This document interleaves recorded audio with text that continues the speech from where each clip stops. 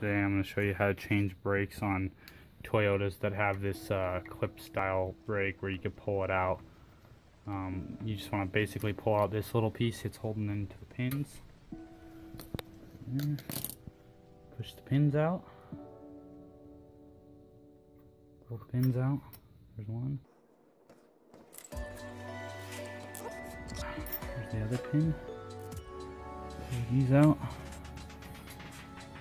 That clip.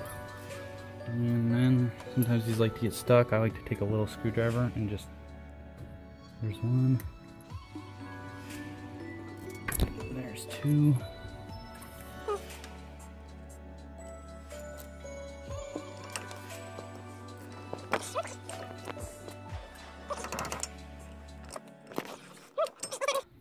Here's your pistons here. And you can actually just take a screwdriver.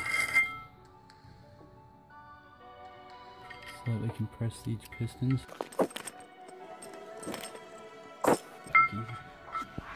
Alright, that pad goes in. This pad goes in. Alright. And clean everything with brake cleaner too. Alright, just clean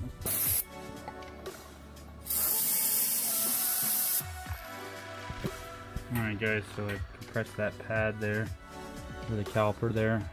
Stick this brake pad back in here. Give it a tight fit. Alright, just put the pins in. Alright, you got this left, and you got these. Should have actually put that in first. So I'm gonna take the bottom pin out real quick. These this and these right here go into the holes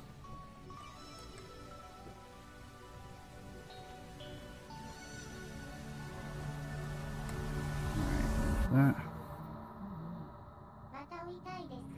Now put the pin in.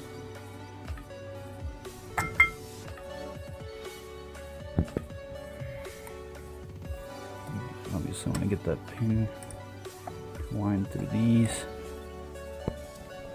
We got and and